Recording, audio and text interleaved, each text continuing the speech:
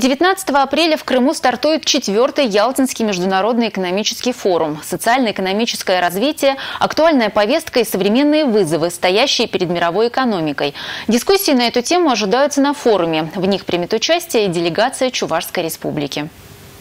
Наша республика уже давно и тесно сотрудничает с Крымом. В феврале этого года на Российском инвестиционном форуме в Сочи глава Чувашии Михаил Игнатьев утвердил план по реализации уже подписанного соглашения о сотрудничестве. А три года назад делегация нашей республики посетила города Симферополь и Севастополь. В обоих регионах Крымского федерального округа прошли презентации возможностей малого и среднего бизнеса республики. Чувашская делегация посетила и крупные предприятия Крыма.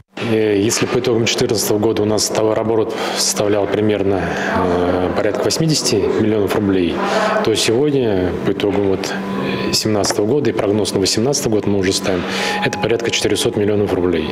Ну, то есть вот порядка 5 раз мы увеличили отгрузку продукции чувашских производителей в адрес Республики Крым.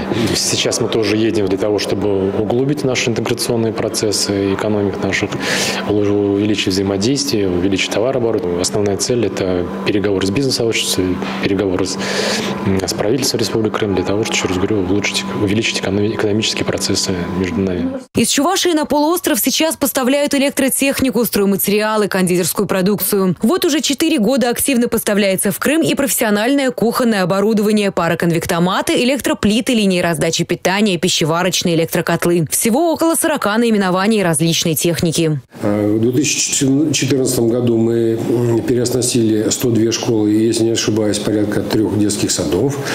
Оборудование очень довольны, отзывы самые э, положительные. Э, кроме того, конечно, по уже проторенному пути мы начали переоснащать санатории, профилактории. Сотрудничество планируют продолжить. В этом году компания собирается переоснастить около 100 крымских школ. Юлия Важенина, Борис Андреев, Республика.